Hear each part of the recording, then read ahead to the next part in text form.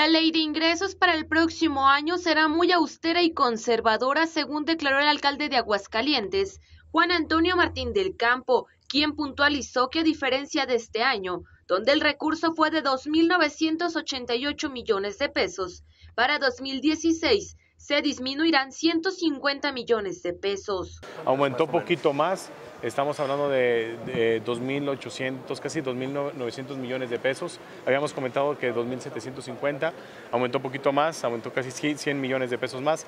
Por lo tanto, bueno, pues tenemos que ser de todos modos, tenemos que tener un plan muy conservador. En cuanto a los impuestos y derechos, el edil afirmó que solo aumentarán entre el 4% a causa de la inflación.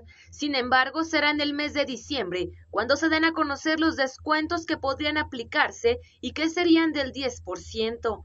Asimismo, comentó sobre cuál podría ser la estimación de recaudación por concepto del predial. Si hay algún tipo de contracción de lo que es la economía, eh, tenemos que prever eso precisamente. Entonces, eh, estamos disminuyendo o estamos previendo que podamos que se pueda tener menos recaudación que este año.